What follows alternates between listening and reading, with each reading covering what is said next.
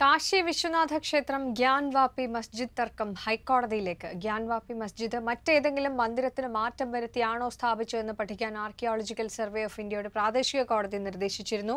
ഇതിനെതിരെ മസ്ജിദ് ഭരണസമിതി ഹൈക്കോടതിയെ സമീപിച്ചു. ക്ഷേത്ര വിശ്വാസികളും തടസ്സ ഹർജിയുമായി ഹൈക്കോടതിയെ സമീപിച്ചു. പി ആർ സുനിൽ ചേരുകയാണ്. സുനിൽ എങ്ങനെയാണ് ഈ ഹർജികളിലെ വാദങ്ങൾ?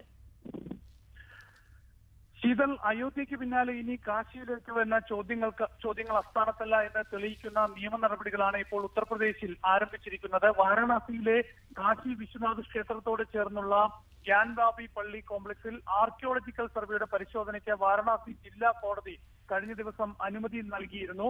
രണ്ടായിരം വർഷങ്ങൾക്ക് മുൻപ് വിക്രമാദിത്യൻ നിർമ്മിച്ചതാണ് കാശി വിശ്വനാഥ ക്ഷേത്രമെന്നും ആയിരത്തി അറുന്നൂറ്റി അറുപത്തിനാലിൽ ഔറംഗസേബ് ക്ഷേത്രം പിടിച്ചെടുത്ത് ജ്ഞാൻബാബി പള്ളി നിർമ്മിച്ചുവെന്നുമായിരുന്നു ഹർജിയിലെ വാദം. ഏതായാലും ഇതിന്റെ കൃത്യമായ വശങ്ങൾ പരിശോധിക്കാനാണ് ആർക്കിയോളജിക്കൽ സർവേയോട് സർവേ നടത്താനുള്ള നിർദ്ദേശം വാരണാസി കോടതി നൽകിയത്. ഏതായാലും ഇത് ചോദ്യം ചെയ്തുകൊണ്ട് മസ്ജിദ് മാനേജ്മെന്റ് സമിതി അലഹബാദ് ഹൈക്കോടതിയെ സമീപിച്ചിരുന്നു.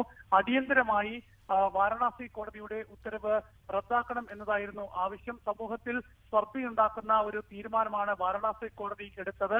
വാരണാസി കോടതിയുടെ അധികാരം പരിധി ലംഘിച്ചുള്ള ഒരു തീരുമാനമാണ് ഇതെന്നും ഹർജിയിൽ ചൂണ്ടിക്കാട്ടിയിരുന്നു. ഇപ്പോൾ ക്ഷേത്ര വിശ്വാസികളും അലഹബാദ് ഹൈക്കോടതിയെ സമീപിച്ച് ഒരു തടസ്സ ഹർജി നൽകിയിരിക്കുകയാണ്. തങ്ങളുടെ ഭാഗം കേൾക്കാതെ ഈ കേസിൽ അന്തിമ തീരുമാനം എടുക്കരുത് എന്നാണ് ഇപ്പോൾ ഈ ഹർജിയിൽ ആവശ്യപ്പെട്ടിരിക്കുന്നത്. എന്തായാലും ഉത്തർപ്രദേശ് തെരഞ്ഞെടുപ്പിന് ഒരു വർഷം മാത്രം ബാക്കി നിൽക്കെ അയോധ്യ പോലെ ഇപ്പോൾ കാശി വിശ്വനാഥ് ക്ഷേത്രവും വലിയ നിയമ പോരാട്ടത്തിലേക്ക് നീങ്ങുന്ന കാഴ്ചയാണുള്ളത്. പി സുനിൽ ദില്ലിയിൽ നിന്നും വിശദാംശങ്ങൾ നൽകിയത്.